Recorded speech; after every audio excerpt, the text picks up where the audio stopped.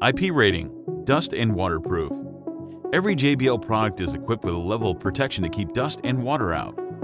This is specified on the packaging and in the product information. But how do you read this rating and what do the numbers indicate?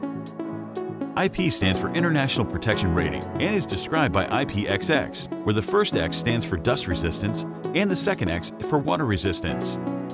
Dustproof the first number after the initial IP rating is the resistance level for solid particles, such as dust. This rating starts at 0 and goes up to 6. The higher number indicates a higher protection.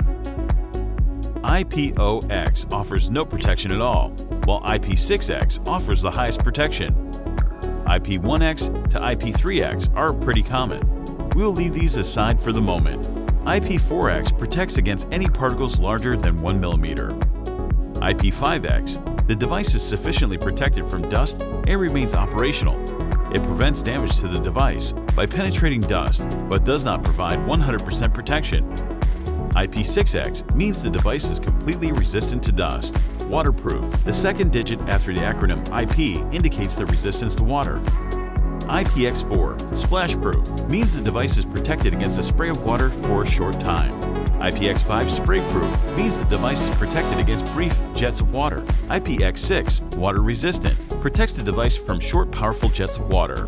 IPX7 submersible protects the device if it is submerged in water for a maximum of 30 minutes to a depth of 1 meter, example during swimming or pool party.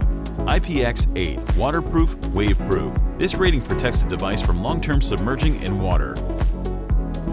If you encounter any issues with your JBL product, we're here to help. Visit support.jbl.com.